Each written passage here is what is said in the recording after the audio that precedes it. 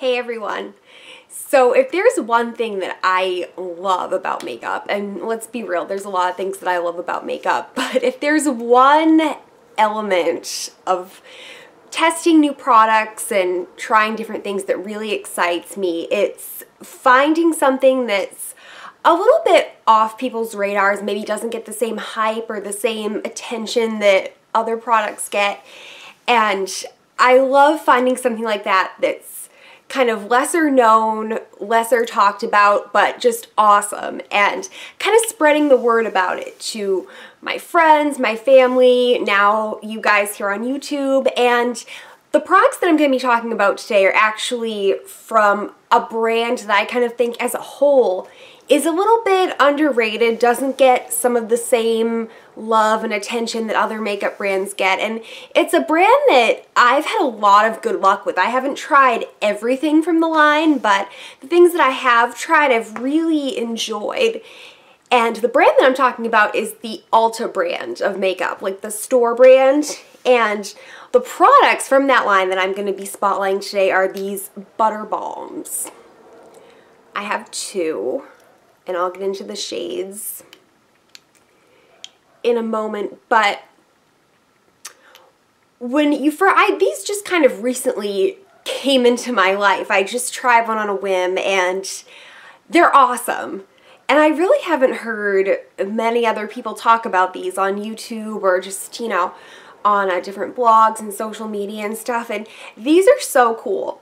So when you hear the name butter balm, you might think of something more along the lines of like a Revlon lip butter or something, because that's what I thought of. But they're actually glosses.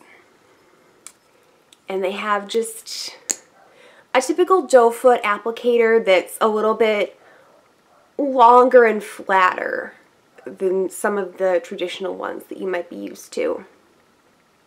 And these are kind of unique to some other glosses that I've tried. And the thing that makes them unique is they have a glossy appearance. Um, the one that I'm wearing right now is this shade called Luna. It's just kind of like a like a pinkish nude with the tiniest hint of mauve to it. It's like a like a pinky nude with just a little bit of like a dusty mauvey undertone, if that makes any sense.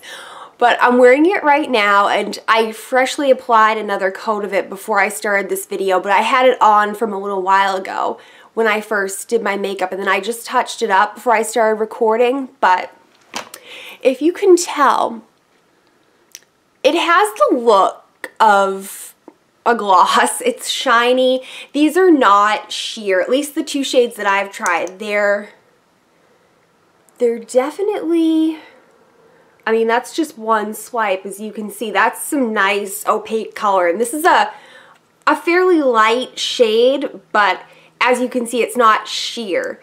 You know, there's a lot of pigmentation happening and I can just go like once around my lips and get good color and be satisfied with the way it looks. Sometimes I will build it up a little bit for a little bit more shine, but I mean, really beautiful colors. And the thing that makes these so interesting is they look like a gloss. You know, they have that nice shiny juicy appearance on the lips, but they don't feel like a gloss. They feel more like a balm which is why I think they're so appropriate, appropriately named. You know, they're called butter balms because they have like a balmy feel on the lips with just like a hint of glossiness, you know?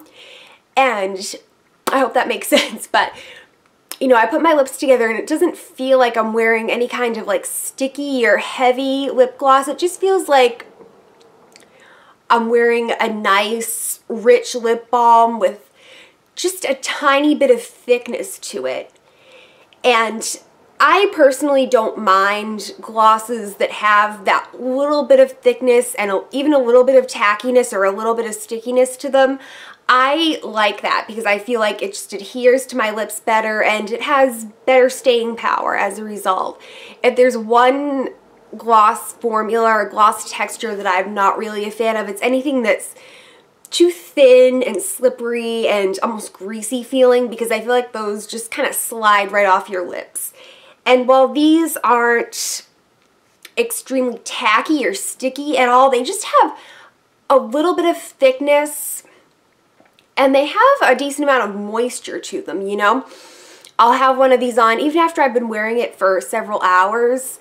Some of the shine wears away. You know, this is a fresh application, so you can see it's fairly shiny. And even after wearing one of these for a little while, I find that some of the shine goes away, but a little bit of it hangs around and a little bit of the color hangs around, which is really kind of impressive for just a traditional gloss, you know?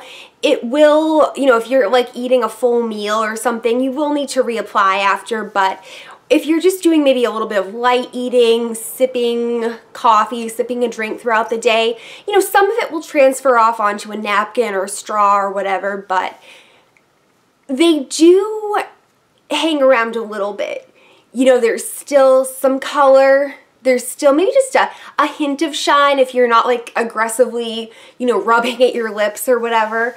Um, and I just think that they really can get you through a good part of the day still looking fresh, you know, maybe not like freshly applied, but looking nice, you know? And I think that's really cool, you know? And like I said, the texture, they feel so comfortable. So the shade that I'm wearing now, the one I've been wearing throughout this video and the one that I just swatched on my hand a second ago is called Luna. And the other one that I got, this one's a little bit newer to me. It's called Popsy. And it's maybe not that different from Luna. Here they are uh, side by side. Popsy's on the top. Luna's on the bottom. Popsy is a little bit deeper pink with a little bit more of like a purpley undertone and neither of these shades that I have contain any sort of shimmer or sparkle. They're just creamy, creamy, shiny colors. And I'm going to swatch Popsy here next to Luna.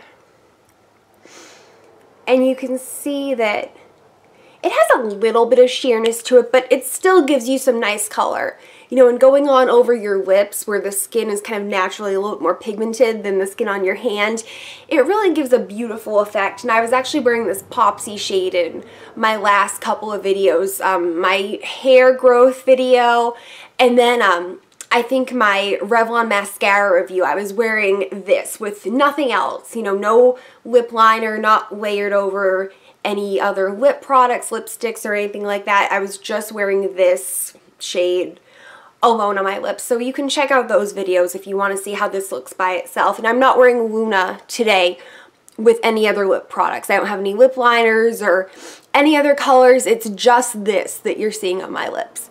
And I'm really, really happy with that. And I'm gonna, I'm gonna go out on a limb and say that you know, if you enjoy a nice lip gloss or a nice kind of rich feeling lip product, I think you definitely like these, but I'm gonna kind of go out there and say that I think even the anti lip gloss person might actually enjoy these because they really don't feel like a traditional lip gloss. They feel, as I said earlier, more like a balm with just a little bit of thickness. But they're not sticky, they're not tacky, but they still manage to stay on your lips nicely and give you a beautiful, kind of a healthy, shiny, full lip look. So I think if you maybe like the idea of lip gloss, you like the, the look, and you just, you like lip gloss in theory, but you just don't really like the feel and the texture of a lot of the ones that you've tried, you might enjoy these because they're, they give you the, the look of a gloss and that, you know, that nice, juicy, shiny look, but without the feel of a traditional lip gloss. These are a little bit different. So I really enjoy them. I'd be interested to try some more shades. And um, they have a pretty good color selection. I want to say, I don't know, they have like at least probably like 12 to 15 shades. At least that's what I see out in my store.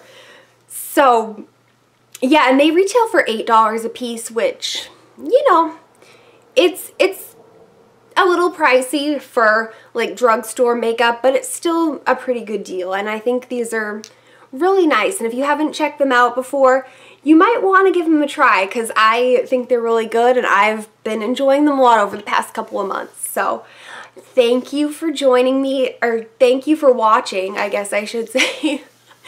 uh, let me know if you've tried these or if you end up trying them. I'd love to hear your thoughts and I'll talk to you next time.